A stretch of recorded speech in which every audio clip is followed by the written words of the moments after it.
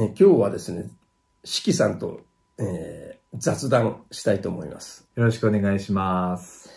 えー、なんかあの、ちょっと聞いたんですけど、あの、はい。最近はなんか、地なしに目覚めたという話を聞いたんですけど。いや、そうなんですよね。うんまあ以前から、それこそ骨董品屋さんとか、うんそれこそここで竹笛とかいただいたり買ったりしている、骨董品屋というのは音色さんですね。とアンティークの色さんですね。そうですね。はい石田さんお元気ですか？あ、元気ですね。もういつもお元気で。今度は行きますんで。あ、そうですね。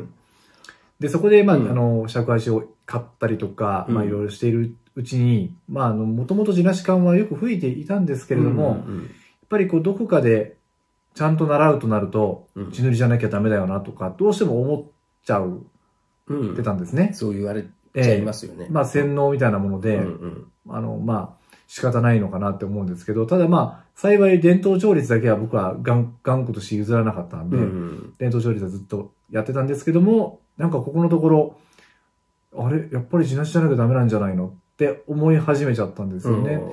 で、それはあの、まあ、私が住んでるところの我が家のお庭にビニールハウスがありまして、うんうんあの、トマトとかうんうん。マンゴーとかいろいろ育育てているんですけども、うん。その中でこう、まあ朝とか夕方とか演奏するんですね、植物たち。うんそれで、ええ、そんなことをしてたりとか、まあ、あと神社に行った時に境内で演奏したりとか、ちょっとこう、うちの敷地で山の方に向かって演奏したりだとか、まあ、あとは家で練習したりとかってやってるうちうんに、うん。音程とか長さとか抜きにして、うんうん。あの、音色うん。あとそのぬくもりですね。うんうん。そういったものが地なり、地なし感の方が全然あるなと思って、あ地塗り感は、なんかもう、本当に、まるでこう、スポンジと釘のよぐらい違うとと言いますか、すごいこんなこと言ったらもうまるで地地塗り感をあのこけよこけようとしてるみたいな感じは良くないのかもしれませんけど、こきを、こき下ろしましょう。なんか、こうそうですね、ふわふわの弾力のあるベッドが地なし感だとすると、うん。あの、剣山の上に寝てるよそううな。、たくさんの針が敷き詰め、あの、こう、細かく刺し、こうね、こう、並べられたチクチク痛い、こう、ベッドにこう、寝かされてるようなあ感覚、耳がもう針に打たれてるようあな、もやたらうるさいんうで、なんだろう下品ですからね。できひんですね。まあ、地なし感でも、まあ、ようなる楽器も、うん。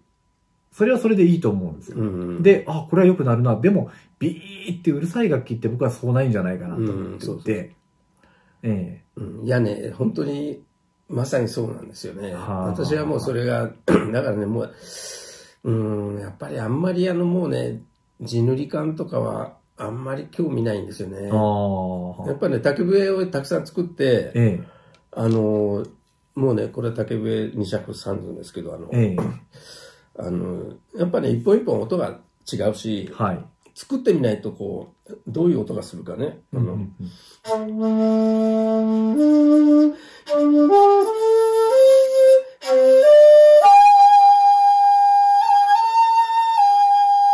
まああの、ええ。太さにもよるしね、はい。まあ今までもいろいろ解説してるけど、あの、うんうん。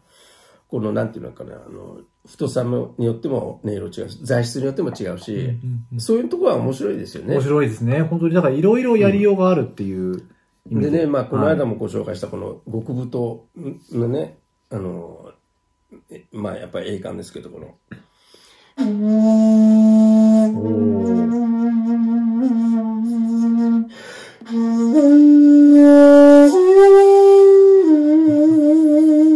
なんかこうね、いやー、すごいですね。あの、あの、あの癒されるというか、あの、生で聞くとまた違いますねう。ん、さて、あの、さて、林さんには悪いけどね、とかね。これ、あの、林さんが、もう、もうでもね、もう私もね、これ30年以上前に、林さんに作ってもらったんで、ね。で、これ二尺三寸っていうか、あの、こう、一回七本にしたりして、今はテープ貼ってますけど、えこう次が2個あってね、一番上のこの歌口の向きとか、え、えで、この、ここっちの左手の向きとか右手の向き、独自に変えられるから意外とこう便利なんでえ、いいすよ。ですね。で、これはね、これもよくなるんですよ、これあ。あ、はあはあはあ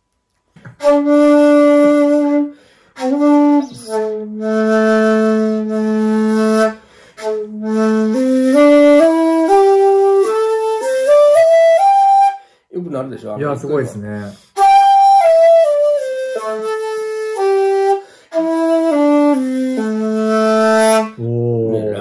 ラーとかなるでもね、う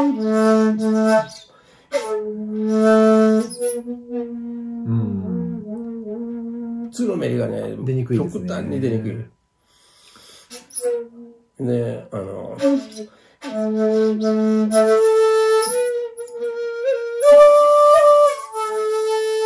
だからあの、うんこういうのって割と本曲っぽいの吹くじゃないですか。ええこれね、ええ、ええ。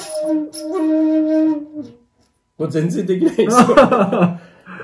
だからね、な、何吹きゃいいのって。で、7コーにして、あー7コーだとね、まあ、はいそのメロディー吹くのにそうです便利だしね。ね。楽ですかでね、割とね、あの、やっぱビービーなるやつってねら。、はい。実はその音色が悪いんですよね。そうですね。荒い、荒いですね。そう。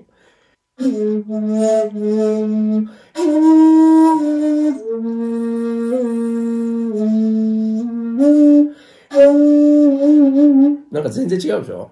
そうやっぱメリカリーがすごい、うん。まあこれは特に太いからね、ええ。あの違うし、まあだからねやっぱりみんなあのもうねき早く気がついた方がいいと思うの。あの、うん。こういうねあの下品な尺八はね、もうあの意味ないですよそうですね。B っていうだけ。今なんかこうちょっとどんな感じかな、あのちょっとわざわざと外のねこの霧にむせぶ 山中こうあの森の様子を映してるんですけど、え例えばこういう中で、やっぱこれでしょ、この。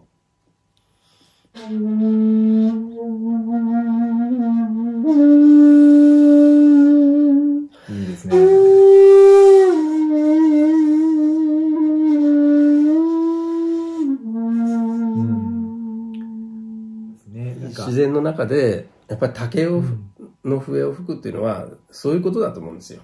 空気感も伝わってきますしね。そうそうそう。だからなんかね、音程が出るとか、はい大きい音が出るとか、んそういう問題じゃないんですよ。そうですね。それ私はね、もう本当言い言いたい。うんもうそれもね、四季さんがもうそうおっしゃったんでね、これは、うん、いいな、と いう感じで。もう一言、まあ、ちょっと付け加えさせていただけるとすると、例えばその、まあ、西洋楽器の中に尺八を用いる、竹笛を用いるにしても、まあ、地なしの方が私はいいんじゃないかなと思います。ですね。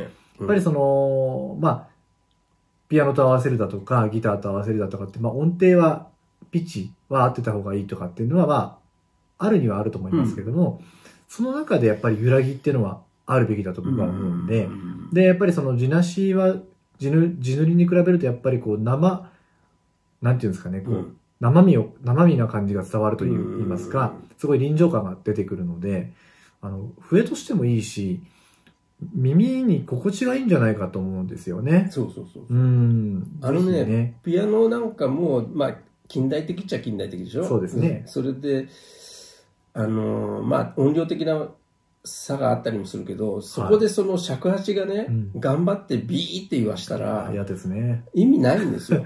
そのそあのピアニストの方がね、そういう音を求めてるわけじゃないのね。うんむしろその、西洋的じゃない、その、違う音色を求めてるわけ。ねじゃなかったらフルートかなんかで吹いた方がいいに決まってるじゃないですか。あのいや逆にビービーフルートもそんなにやりませんからね。そうね、フルうんフルートの方がもっとあれですよ。健全ですよ。いや癒される音するよ、うんでね、結局、例えばね、ギターもクラシックギターとかとやると音量的にね、合うし、ね、ああ、ちょうどいいですよね。すごくいい感じになるし、えだからそういうことをね、やっぱ気がつかなきゃダメですよね。えそうですね。うんまあ、ということでね、あの、今日は、あの、音色についてこう、今度音色に行きましょうね。そうですね。音色だけに音音色に行きましょう。そうそうそううんということで、またよろしくおまた願いしますよろしくお願いし。ます。